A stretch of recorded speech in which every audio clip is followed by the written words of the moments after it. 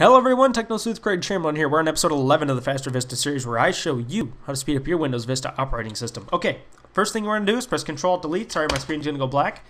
Click Start Task Manager, and when your Task Manager comes up, what we want to do is, is we want to set a processor affinity.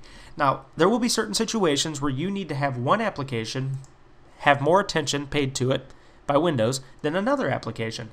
All you need to do is right-click on it, set priority and select real time. That will dedicate the processor to that priority and that priority alone. Now note this will make it ignore other programs. So it'll make your other programs run completely slow. If you don't want it to completely ignore them, set it to high. If you want it to ignore them even less, set above normal. But by default, it'll be set to normal. But there is a problem with this. When you close the application and reopen it, you're going to have to come back in here and reset the affinity. What I'm going to show you in the next episode is how to make a start command, a shortcut that will automatically set that priority for you.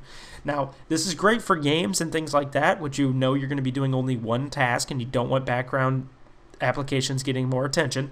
And uh, you'll really find this extremely useful in situations where you're just getting annoyed that Windows is spending so much time on another process.